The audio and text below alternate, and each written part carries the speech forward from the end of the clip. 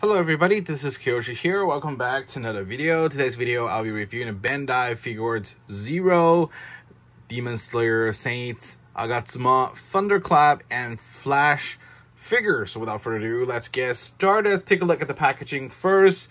With Figuarts Zeros, they always have very nice packaging for the Demon Slayer line. Uh, it infused with the Japanese traditional vibe at the same time it's just really cool looking. Here's a front. We have a window display here with a Prada image authenticity sticker. Here's the side same thing window display here. Here's the back more Prada image and intro. Look at this picture so sick looking. Um this is the second Zenitsu figure released by Figuarts Zero. I have both um and let me tell you, this is the one that's the better one. And if I am you, and if you're only getting one, I would go with this one versus the, the older version. Um, there's a lot of reasons behind it. So without further ado, let's get a closer look at the figure.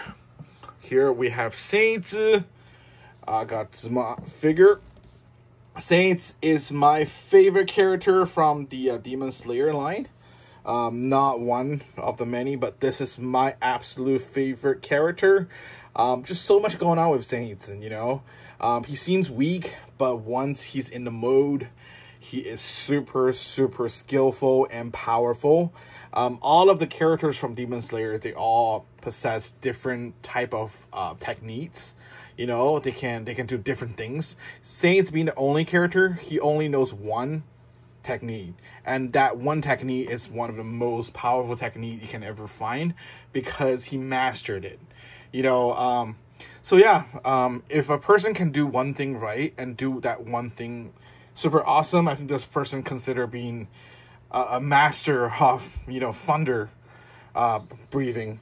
Anyways yep here's just a 360 on the character or on the figure once again, Zenitsu is an awesome character. You know, I like his personality. I like the way he looks too. Yellow, um, this whole combination of coloring and matching is just amazing. Now get a closer look. I have to say, Tamashii Nations or you know Figuarts Zero line, it's not the best in terms of uh, QC.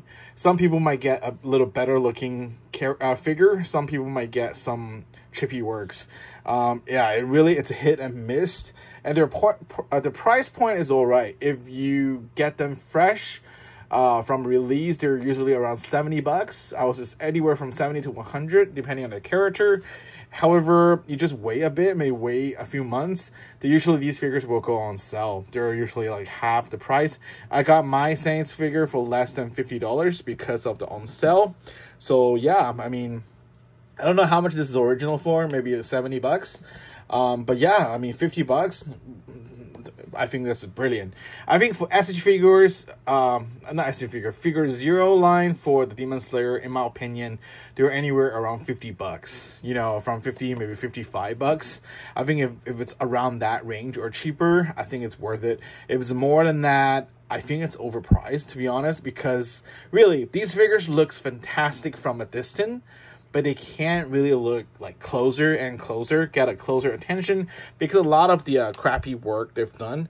My figure is not too bad, but when I first opened this figure from the packaging, there's like this excessive oil just all the way like here and there like just a lot of different places. I almost thought these are like paint defects, but luckily I was able to, you know, clean it off. But yeah, that wasn't a pleasant opening, you know, when you just get your fresh figure, especially being this is your favorite character from the series.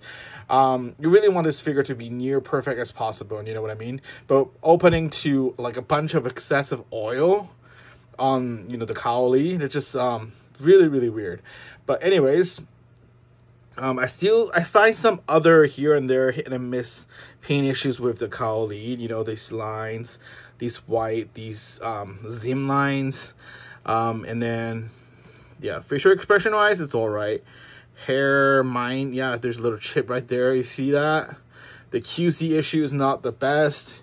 Here, there's just a lot of QC issues going on, even with the Thunder effect piece. Um, I think the paint app is just a little bit sloppy. Um, but yeah, but overall, I think the overall look of the Zenitsu figure is amazing from all angles. This is a nice poster, you know, just from this angle It looks nice here too. It looks nice here. It's just like there's from different angles. I think it captures Zenitsu's most manly and you know powerful look. Um, so I highly recommend this figure. There's two um, from the Figuarts Zero line, and out of the two, I personally prefer this one a little bit more because first they improve on the lighting effect. Now it's not as pointy as hard plastic as the previous version.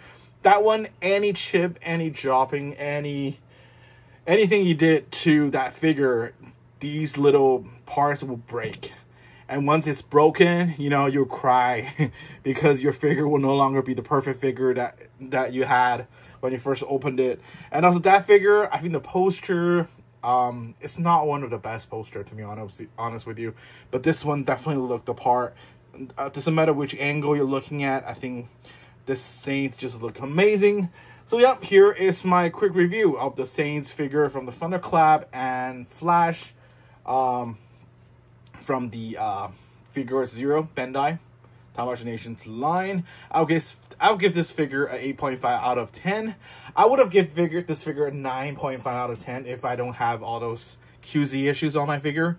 But um, still, I think overall this is a good Zenitsu figure to own and um, I am happy with it. You know, um, especially the, the price. I only got it for fifty bucks. I think for that price line or for that price that I paid for this figure, I think it's all right. You know, I will accept that kind of QC and all that. But anyways, thank you guys so much for watching. Please like, comment, and subscribe, and I'll talk to you guys in the next video. Bye bye.